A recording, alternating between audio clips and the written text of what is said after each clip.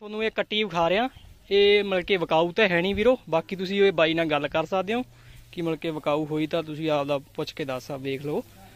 ਦੋਸਤੋ, ਇਹ ਕੋਈ 9 ਮਹੀਨੇ ਦੀ ਕੱਟੀ ਹੈ ਜੀ। ਇਸੇ ਸਾਹ ਦੀ ਕੱਟੀ ਜਿਹੜਾ ਇਹ ਘਰੇ ਕਿਸਾਨ ਇਹਨਾਂ ਕੋਲੇ ਆ ਜੀ। ਉਸੇ ਦੀ ਕੱਟੀ ਆ। ਕੱਦ ਕਾਠ ਤੁਸੀਂ ਵੇਖ ਸਕਦੇ ਹੋ। ਬਹੁਤ ਚੰਗਾ ਕੱਦਕਾਠ ਆ ਜੀ।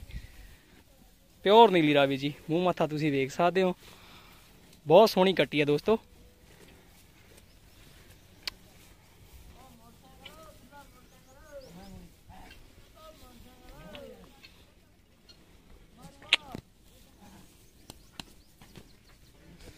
ਦੋਸਤੋ, ਥਣ ਵਗੈਰਾ ਤੁਸੀਂ ਵੇਖ ਸਕਦੇ ਹੋ। ਬਹੁਤ ਸੋਹਣੇ ਥਣ ਵਗੈਰਾ ਕੱਟੀ ਦੇ ਜੀ। ਇੱਕ ਤੁਹਾਨੂੰ ਰਿਜ਼ਲਟ ਦੇ ਤੌਰ ਤੇ ਵਿਖਾ ਰਿਹਾ, ਇਹਨਾਂ ਦੇ ਸਾਹ ਦੇ ਰਿਜ਼ਲਟ ਦੇ ਤੌਰ ਤੇ ਜੀ।